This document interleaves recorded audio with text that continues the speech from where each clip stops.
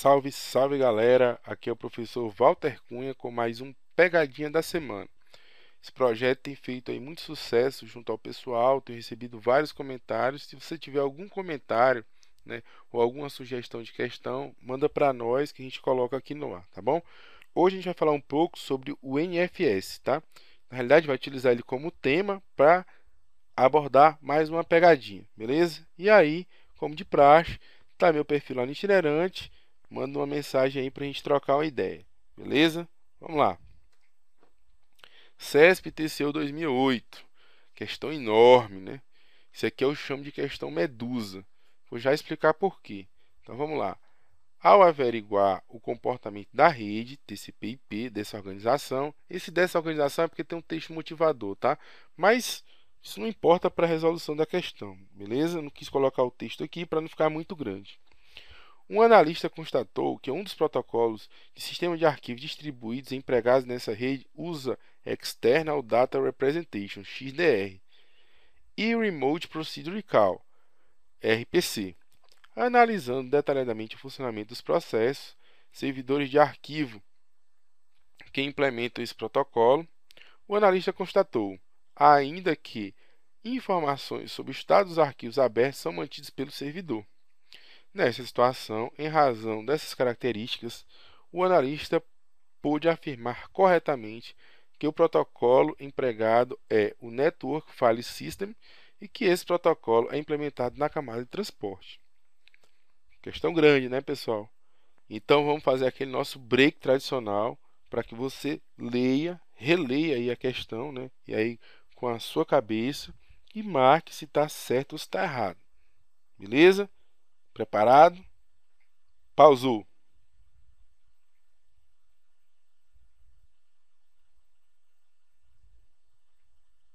Estou dando um tempinho maior porque a questão é grande. Tá bom. Beleza, marcou. Não pode mais mudar, tá, pessoal? Pessoal, eu trouxe essa questão aqui porque eu chamo ela de medusa, como eu comentei no começo do vídeo. Por quê? Porque é aquela questão que quando você olha, você fica petrificado. Né? Então, XDR e RPC, apesar né, do cara que está estudando há muito tempo, deveria saber mais ou menos o que, que é, são termos que causam né, congelamento do aluno. Né? Então ele vai lá, ah, eu sei lá, o que diabo é Remote Procedure Call, o que é External Data Representation, eu não sei. E aí ele foca no problema. Né? Ou seja, como eu não sei, eu vou errar a questão, eu vou deixar em branco. Só que se ele ler a questão inteira, ele vai captar o seguinte aqui, ó. Nessa situação, em razão dessas características, o analista pode afirmar corretamente que o protocolo empregado é o Network File System e que esse protocolo é implementado na camada de transporte. Pessoal, vamos lá. Quantos protocolos da camada de transporte vocês conhecem? Dois, né, Val? Tem lá o TCP e tem o DP. Mas quem estudou com a gente sabe que tem mais um protocolo, o STCP.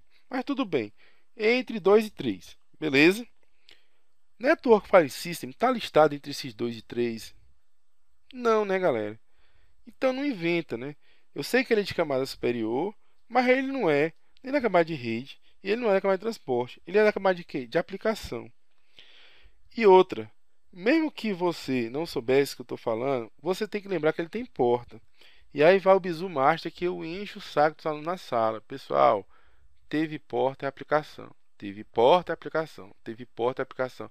Ah, Walter, mas aí teve porta. É, e como é que eu garanto não é Pessoal, quando eu estou falando de protocolo real, né, protocolo concreto, normalmente a gente está colocando ele aonde?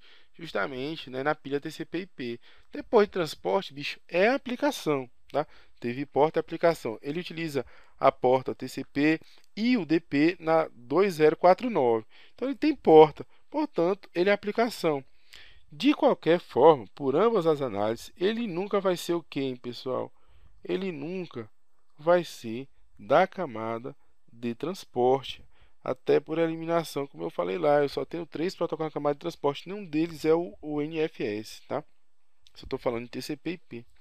E aí, pessoal, o XDR, né, o Remote Procedure Call, esse blá blá blá todinho aqui que ele falou do auditor, né, do cara que está inspecionando, o perito que te deixa nervoso. Ah, essa questão, o cara tem que ser um perito da PF, tem que ser um auditor, CISA, tem que ser qualquer coisa. Não, cara, fica calmo, né? não petrifica né, com a medusa, e aí você vai encontrar o easter eggzinho aqui que estava deixando para você. Beleza? Vamos bater aqui com o gabarito oficial. Tá lá, ó.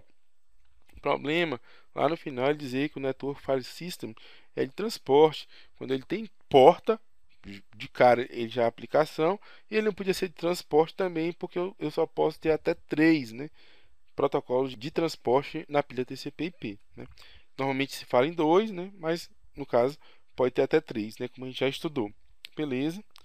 Aqui, pessoal, seria né, nosso Resumex, né, ou seja, o NFS pode utilizar a porta TCP 2049, a porta UDP 2049 ou ambas, né? Então é um protocolo aí patológico, né, que ele pode utilizar nas duas, como é o caso do DNS, né? Portanto, o protocolo roda sobre a camada de transporte, ou seja, é a aplicação.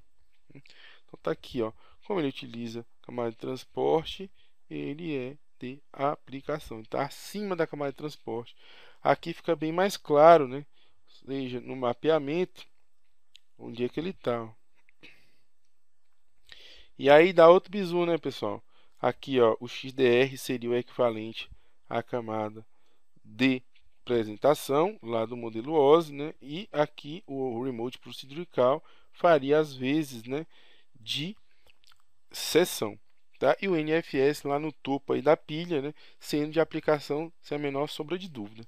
Se você quiser se aprofundar no que, que é NFS, no que, que é XDR, no que, que é RPC, eu deixei agora à frente né, três transparências falando um pouquinho sobre eles. Vamos lá.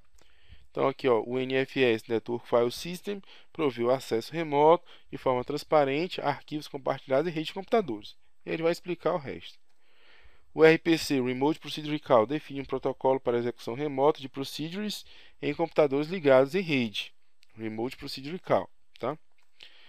XDR, External Data Representation, é um padrão de codificação e decodificação de dados para o transporte em diferentes arquiteturas, SAM, VAX, PC, Cray. Ele vai ver, né, pessoal, que aqui, quando ele fala Data Representation, lembra logo de quem? Camada de aplicação. Remote Procedure Call, né, chamadas né, remotas, é o que? Camada de sessão. E o, o, o NFS, né, que seria, no caso, a própria interação com o usuário né, daquele aplicativo, seria na camada de aplicação, beleza? Então aqui nossos links, né? Link do Prova de TI aí, da rede social itinerante TI Masters, né, do blog do Walter Cunha. Por fim, obrigado né, por mais essa audiência aí. Mais uma vez deixo o meu perfil lá na rede itinerante, vai lá, coloca um comentário Dá um like também aqui nesse, nesse vídeo, né? Se você gostou, ou um like se você não gostou. Coloca aí no comentário do YouTube, né? Ou do blog do Prova de TI o que, que você achou, tá? E vamos trocar uma ideia e não deixe de mandar sugestões. Tudo bem? Até a próxima pegadinha com o Walter Cunha. Tchau!